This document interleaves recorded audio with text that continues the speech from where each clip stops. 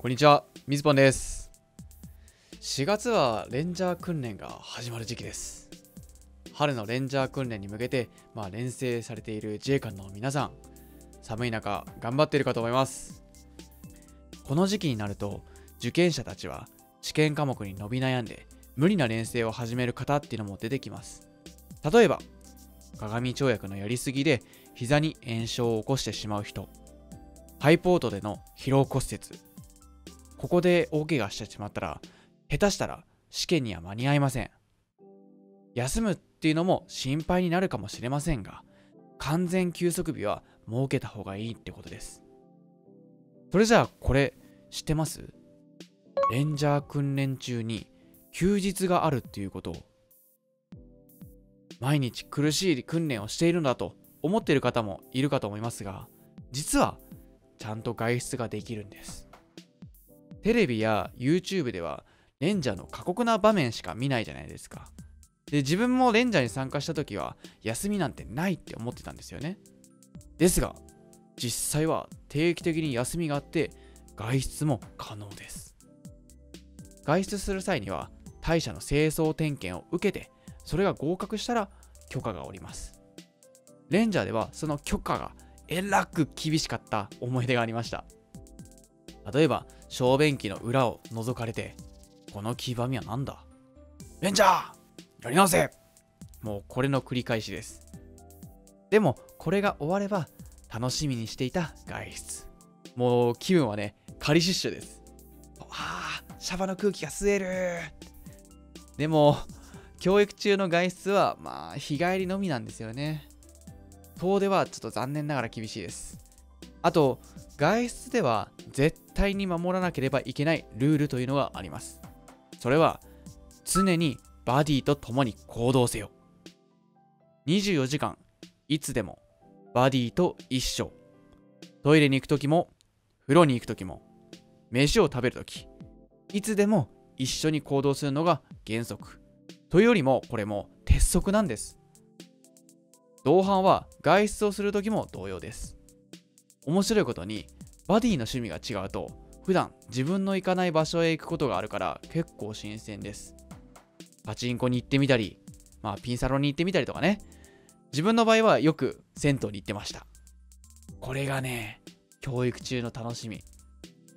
他の同期は、まあ、訓練用品を集めたりとか、美味しいご飯を食べに行ったりと、まあ、外出はね、普段と変わらず満喫していました。中には、わざわざこのタイミングで、なんか私服を買ってたりとか、あと、彼女とデートをしたり、デートの時はもちろん、バディは一緒です。不思議な光景ですよ。3人でデートするわけですからね。これもまあ、レンジャーではよくあることです。ただ、いくら仲が良くても、いろいろと制限があるので、まあバディで行動するのは何かとちょっと面倒です。だから何組かは、まあおそらくバレずに行動してたかもしれないです。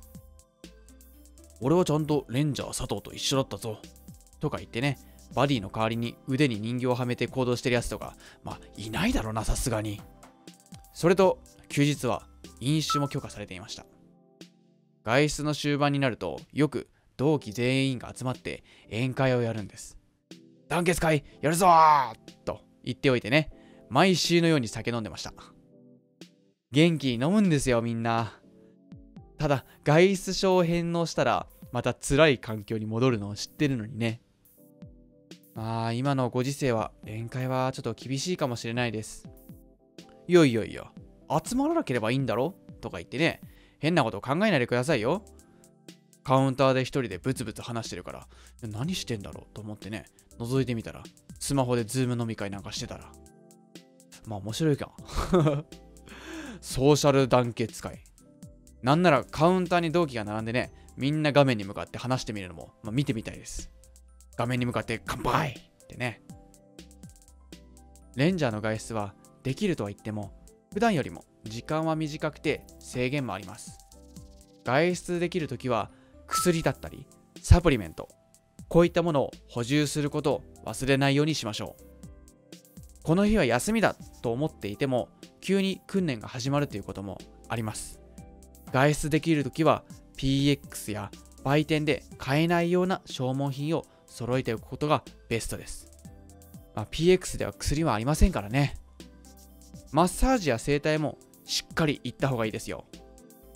今の時期に毎日連成している受験者はいませんか？休息日を取るっていうことは忘れずにした方がいいです。自分は今までに頑張りすぎて怪我をしたレンジャー学生を何人か見てきました。特に試験前のこの時期だからこそそういった怪我人が増えてきます。若くて体力のある隊員だったのに断念するっていうのはもうもったいないです。家庭環境や仕事の影響でレンジャーを受けられないっていうこともよくあります。なので今できている環境は来年もあるとは限らないということを忘れないでください。あと3ヶ月あれば素養試験大丈夫ですから。今頑張っていることが続けられているのならいける大丈夫です。何か心配なことがあればね、コメント欄で書いてくれれば待ってますから。今この動画を見ているあなた、怪我をせずに通過できるよう私は応援しています。レンジャーに休日があるように皆さんも頑張るのはいいんですけど無茶はしないようにこの3ヶ月間頑張ってきてください。というわけで今日はこの辺で要件割り帰ります